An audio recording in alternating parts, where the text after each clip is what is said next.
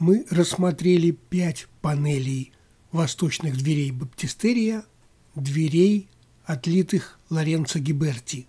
И теперь переходим к следующей, шестой панели, где описывается совершенно феерическая история Иосифа. И действительно, описание жизни Иосифа – это одна из самых захватывающих историй Ветхого Завета. Для меня-то, правда, она засверкала не благодаря Библии, а после того, как я прочел Иосиф и его братья Томаса Манна. Вот ровно это издание у меня стоит на полке. Книга, по-моему, совершенно гениально написанная. Один только раздел, посвященный любви жены Патифара, чего стоит.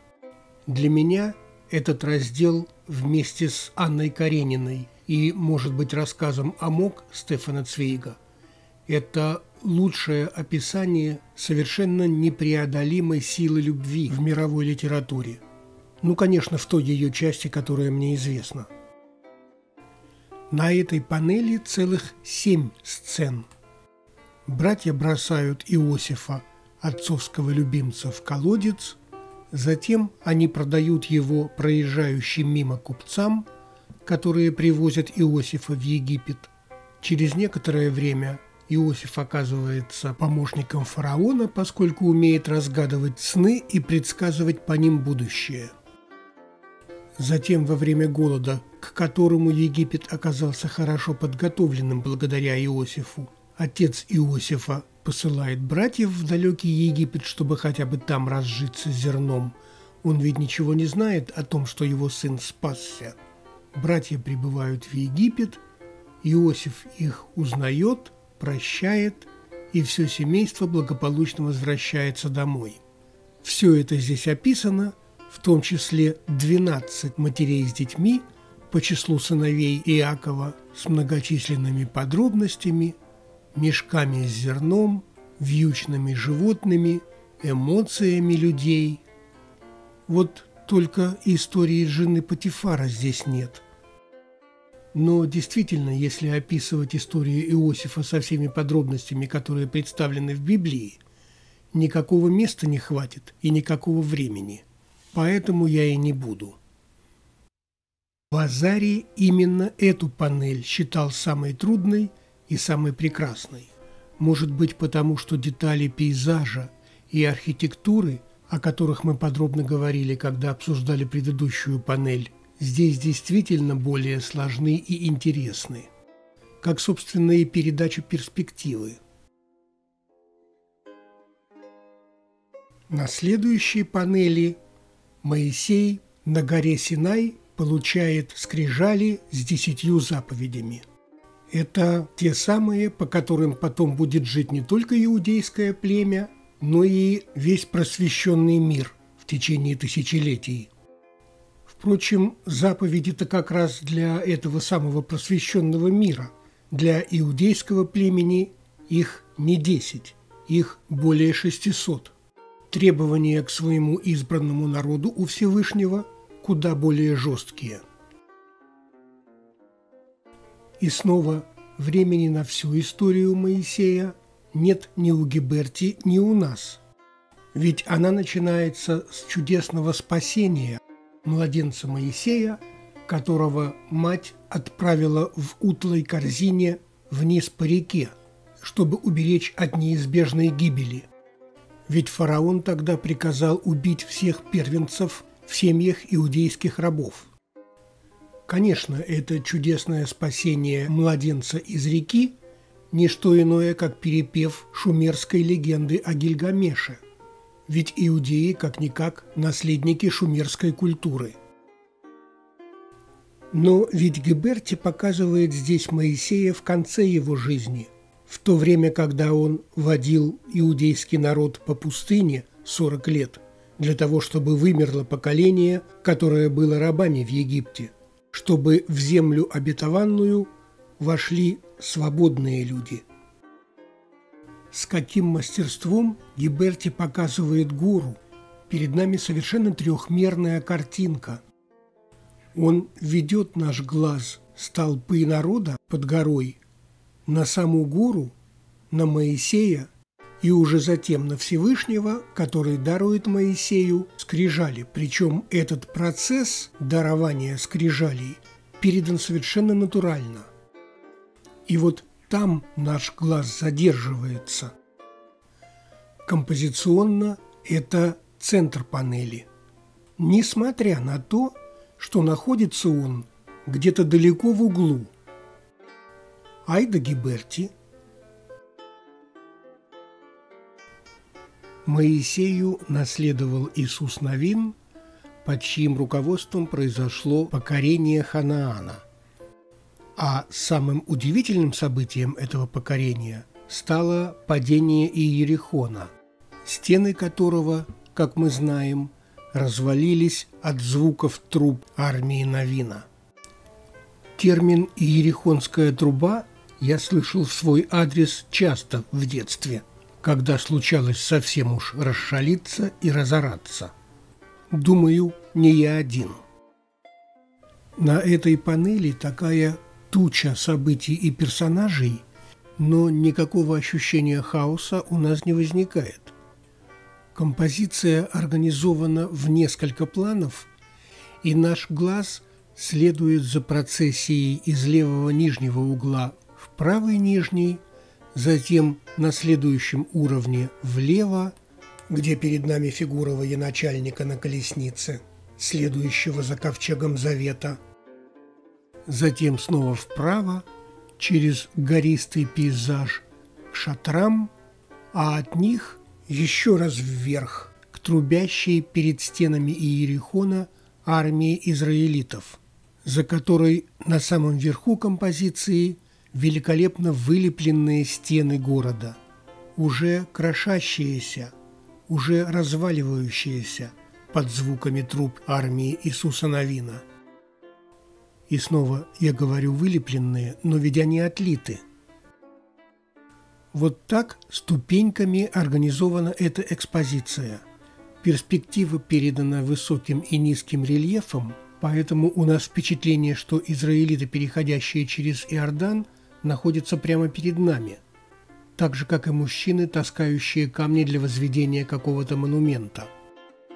Ковчег Завета и шатры – такое впечатление, что находятся дальше, и уже совсем вдалеке от нас и Ерихон с кажущимися неприступными стенами и осаждающая его армия. Это одна из самых детальных панелей на дверях – Наверняка Гиберти помогали его подмастерья. Но еще раз, поразительно, как при такой плотной композиции он управляет движением наших глаз, и у нас создается впечатление о очень строгом порядке, который царит на этой панели. Ее, как, собственно, и другие, нужно рассматривать под разными углами, чтобы почувствовать всю объемность изображения – я поэтому и показываю фотографии, которые сделаны в разном освещении и под разными углами. Ну вот, а следующая панель описывает одно из ключевых событий в иудейской истории. Гигант Голиаф из армии напавших на израильтян филистимлян вызывает любого противника на бой. Если он меня убьет, то мы станем вашими рабами – а если я его убью, тогда вы станете вечно служить нам». Давид незадолго до этого примкнул к армии как музыкант. Молодой пастушок, что он мог. Но именно он отозвался на клич Голиафа, поскольку, будучи пастушком, уж что-что, а с обращаться умел. Вот и поразил он Голиафа, попав ему прямо в лоб камнем из своей прощи, а когда тот упал на колени от удара, подбежал, выхватил его же Голиафов меч из Голиафовых же ножен и этим мечом отсек гиганту голову. Битва была выиграна, даже и не начавшись. Понятно, что тема эта была близка многим флорентийцам. Флоренция ведь сильной в военном отношении никогда не была – Однако тем или иным способом ей всегда удавалось побороть врагов. Тема Давида не была им незнакомой или чуждой. И снова на этой панели огромное количество персонажей. Вот на самом переднем плане Давид отсекает голову Голиафу, под его ногой ненужная уже пустая проща. Слева армия наблюдает за этим боем, а потом и сама переходит к битве справа. Чуть выше царь Саул руководит сражением с боевой колесницы. Еще выше, уже за горами, победитель Давид носит голову Голиафа вокруг стен Иерусалимских, и сам Иерусалим показан как весьма внушительный огромный город, город-крепость, которым он, собственно, тогда и был. И снова удивительная композиционная гармония. И какая динамика на этой панели.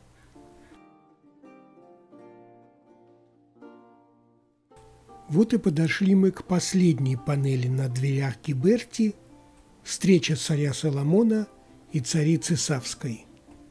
По многим причинам это может быть самая необычная панель на этих дверях.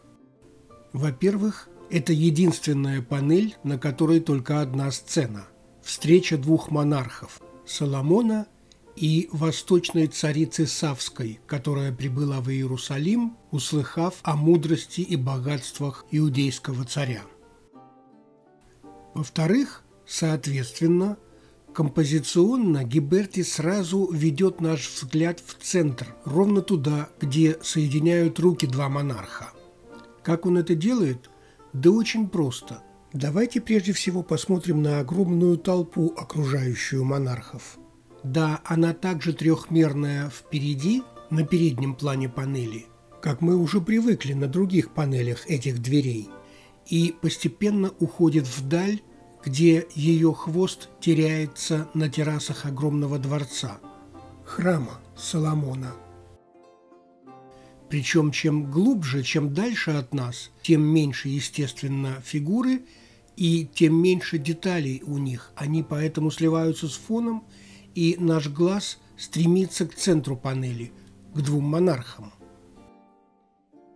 С другой стороны, весьма трехмерное изображение архитектуры импозантного дворца Соломона тоже так построено, что ведет наш глаз к двум монархам – на переднем плане мы видим, как люди в этой толпе толкаются, отпихивают друг друга, пытаясь занять место получше, чтобы рассмотреть то, что происходит в центре. Причем фигуры очень специфичны. Здесь и семит, и римлянин, и африканец. Да, но почему Гиберти выбрал именно эту сцену? Для последней-то панели. Ведь она не ключевая в Библии – более того, даже сам факт встречи этих двух монархов до сегодняшнего дня не доказан. А все дело в том, что в это время во Флоренции произошло эпохальное событие – Флорентийский собор, на котором представители западной и восточной константинопольской ветвей христианства официально объединились Восточная церковь согласилась практически на все условия. Весь византийский двор во главе с императором Иоанном VIII Палеологом прибыл во Флоренцию, чтобы участвовать в этом соборе. Император и патриарх Константинопольский пытались таким образом спасти город и древнюю Византию от надвигающихся мусульманских орд. Поэтому они согласились практически на все условия Рима – и объединение двух церквей было официально объявлено на ступенях Флорентийского кафедрального собора 9 июля 1439 года. Раскол, который в течение веков так вредил обеим ветвям церкви, можно было считать законченным. И произошло это объединение именно здесь, во Флоренции – действительно эпохальное событие. Вот поэтому на последней панели дверей Гиберти царица Савская, представляющая Восток, Константинополь, и царь Соломон, представляющий Запад, соединяют руки в знак вечной дружбы. Как не вспомнить здесь о Биноццо Гоццеле, который примерно в это же время писал свои потрясающие фрески во дворце Медичи Рикарди, и на них тоже изобразил императора Византии как одного из восточных царей, направляющихся к только что родившемуся Христу. К сожалению, объединение двух церквей оказалось эфемерным и не спасло Константинополь, который пал менее чем через 15 лет после Флорентийского собора. Может быть, было слишком поздно, и турок было уже не остановить, они продвигались все глубже в Европу, и только битва при Лепанто приостановила эту лавину. Чуть ли не единственный в истории случай, когда вся Европа объединилась против общего врага. А как знать, вся история человечества пошла бы по-другому, если бы это объединение, провозглашенное на Флорентийском соборе, принесло плоды, которых от него ожидали. Ну вот, мы закончили рассматривать панели вторых восточных дверей Гиберти, но мы еще ничего не сказали о рамах, об обрамлении панелей, а оно весьма интересно. Во-первых, здесь 20 скульптур пророков. Не все из них однозначно отождествлены Отсюда вопросительные знаки на моих подписях.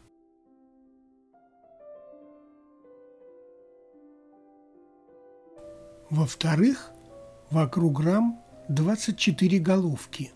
Мужские, женские, молодые, старые, веселые и не очень.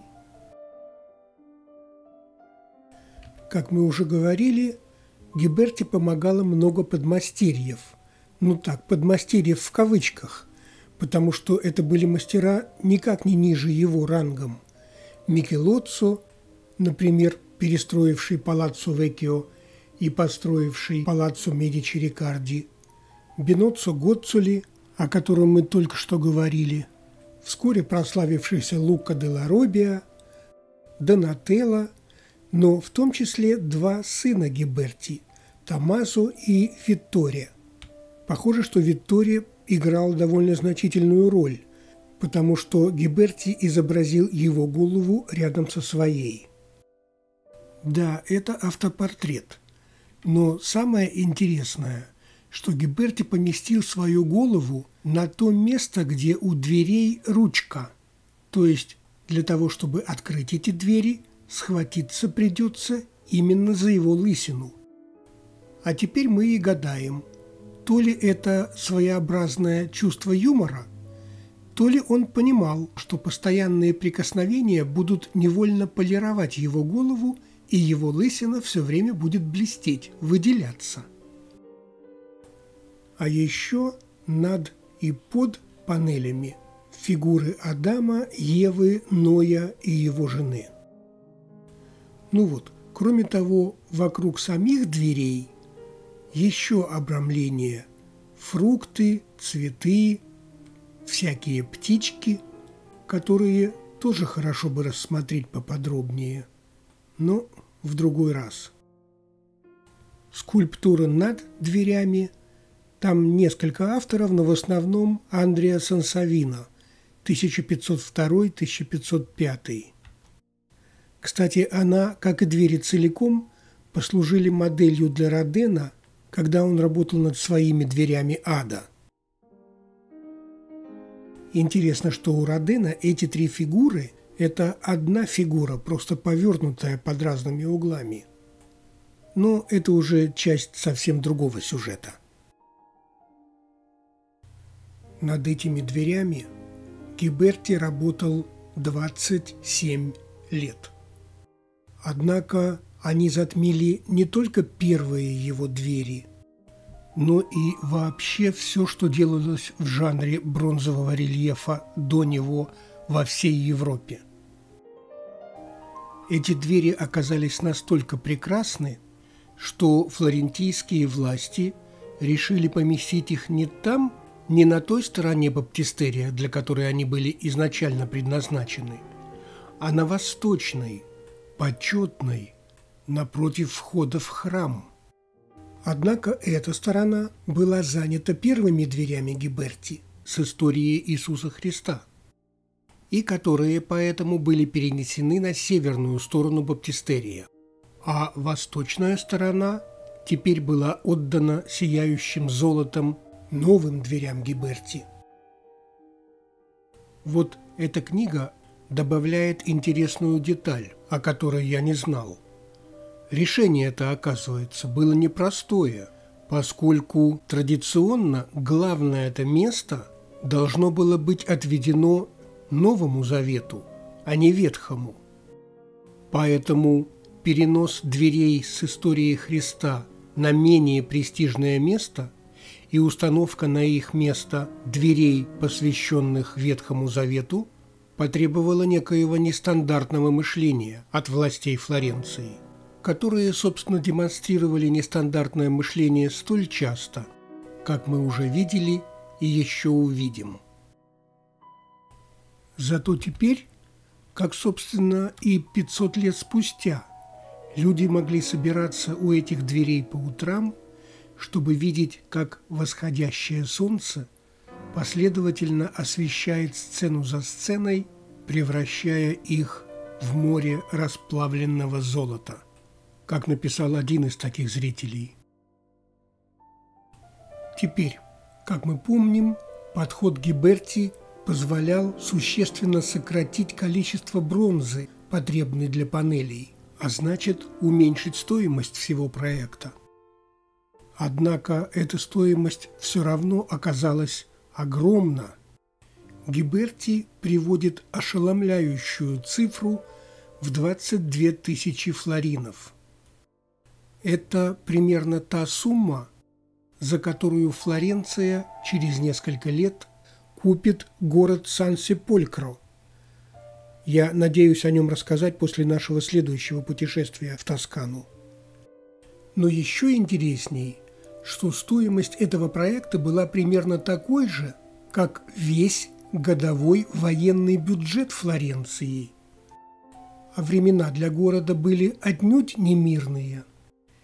Юдив Теста в своей замечательной книге восклицает «Давайте представим себе сегодня произведение искусства – стоимостью в годовой бюджет Пентагона. Неожиданное замечание, но довольно интересное.